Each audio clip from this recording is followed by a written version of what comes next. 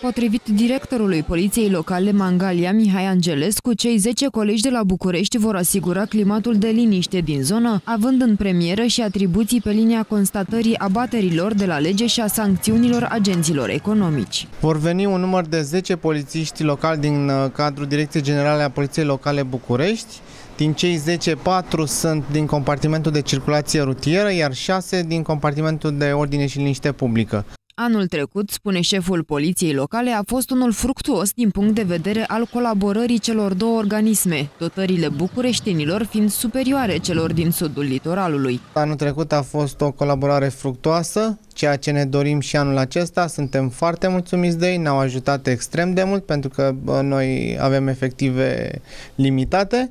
Sunt colegii noștri și sper că vom face o echipă bună și anul acesta. Claudiu Râureanu, inspector principal al Serviciului Circulație din cadrul Poliției Locale București, spune că anul trecut nu au fost înregistrate incidente majore în privința liniștii și ordinii publice, iar angajații instituției repartizați pe litoral își vor face datoria pe compartimentele din care fac parte.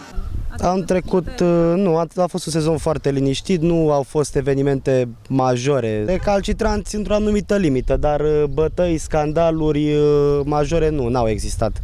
Și sperați anul ăsta? Sperăm nici anul ăsta să nu existe. Ca o noutate în ceea ce privește măsurile luate în aceste zile la malul mării, la intrarea pe faleza din Mangalia a fost montată o barieră pentru a interzice accesul autoturismelor în zona de promenadă. Cei ce vor dori să încalce legea, spune șeful poliției locale Mangalia, vor fi aspus sancționați. Pe faleză este legea costieră care interzice accesul autoturismelor și celorlalte autovehicule. Astăzi am montat o barieră acolo, unde este un semn uh, rutier uh, care interzice accesul autovehiculelor, precum și un semn adițional în care este specificat orarul de aprovizionare cu mărfuri al uh, magazinelor de, din zonă.